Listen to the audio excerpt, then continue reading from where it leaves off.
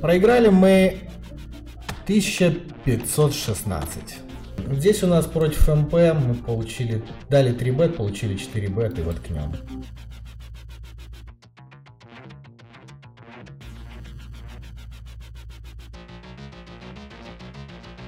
Низкая доска, два колоска.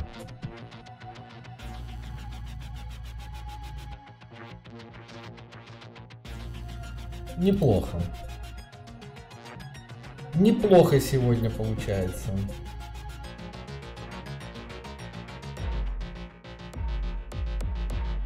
По черному усилились, оппонент продолжает ставить мелко достаточно. Возможно, были бы эти десятки или слабого валета. Может быть, блефует. Промахнулись 7-8, э, дама 10, король 10, король дама. 10-8, я, по-моему, говорил, не говорил.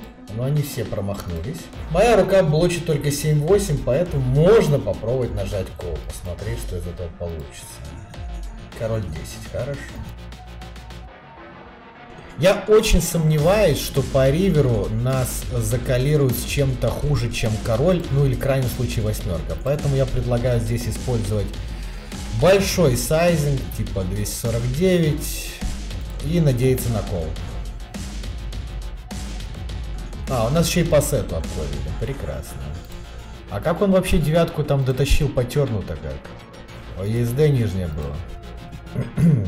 по риверу пуш на value, думаю. Э, конечно, можно иногда и чекнуть, попробовать половить блефы. Но, как по мне, лучше добирать. И жадно. Человек с VPIP 68 как бы намекает, что он готов лузово играть. Повезло нам с терном и с оппонентом. Э, здесь сейчас будем крутить рандомайзер, либо чекрейс сыграем, либо крупный конбет. Давайте крупный конбет. Ну, здесь еще типа того ставим. Здесь кол. Обалдеть. Это просто обалдеть. Щедрость любителей не знает границ, однако они всегда против нас. Ох, первый выиграл. Каким чуд, как можно было на валет 6-10 с 10-7 против валетов выиграть половину банка? Как? По риверу у нас очевидный пуш на value и надежда на то, что у него все-таки рука, с которой он не готов сдаваться. Нас закрыли по 7-8, в принципе ожидаемая рука, не худший кетчер, нормально. Ну и по такому риверу, по сути, принимаем решение, пихаем или нет, скорее всего пихаем. Все еще можно репрезентировать некоторое количество король-дама. Снэп-колл это всегда плохо. Ну, вообще король-дама на катофе не должна калироваться против большого блайнда, но это как бы его личное дело.